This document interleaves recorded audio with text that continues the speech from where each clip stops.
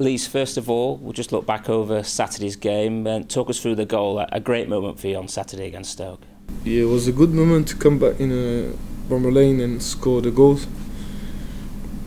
And it's the comeback as well for the 1 1. So it was a good moment for me at the front of the, the crowd. First goal on this this side of the pitch as well.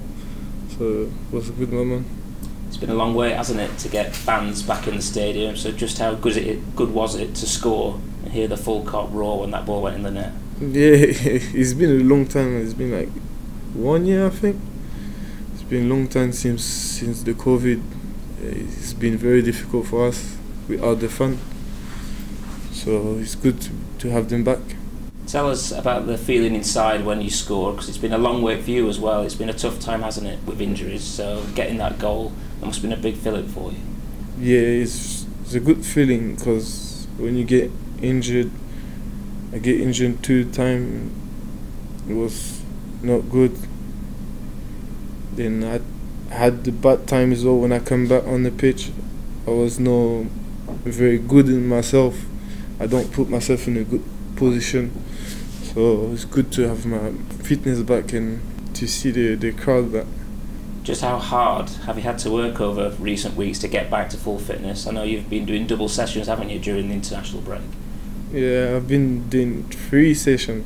Wow. One at six thirty, one after the breakfast, then one in the afternoon. I was staying, coming in at six thirty to five o'clock.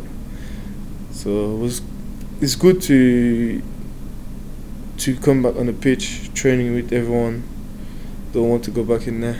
Mm. And that's kind of the standard that you have to set, isn't it now? Because the competition up front, there's so many good strikers at this club. You know, you're all battling for one or two spots, so the, the competition is always fierce. Yeah, that's a good thing, though, I think, because everyone need to be ready to play the game because everyone need, everyone want to play, so need to be good try to do the best for the team and try to score goals. One of those players who's joined the competition is Iliman Ndiaye. I know you get on really well off the pitch. Just how impressed have you been with him and, and his progress? Iliman has been always good since he was in 23 when he come up with us to train and when he start to play. For me, he's always been good and he improved as well because in professional he's not the same intensity as 23, and I think he's doing very well. I hope he's he's gonna keep going and do good for the team and for himself as well.